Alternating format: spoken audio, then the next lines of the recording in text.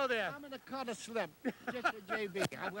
Uh, we're going to come right back, y'all, with the wise guys and a whole lot more here on Live Mardi Gras 2004 from St. Charles Avenue. Have Don't go away. Hey, you. hail King, In 1916, this area of Howard Avenue was the site of a canal that saw the arrival of the first Zulu king as he parodied Rex's aquatic arrival. These days, Rex and Zulu meet at the riverfront, but this area will always be part of our carnival heritage.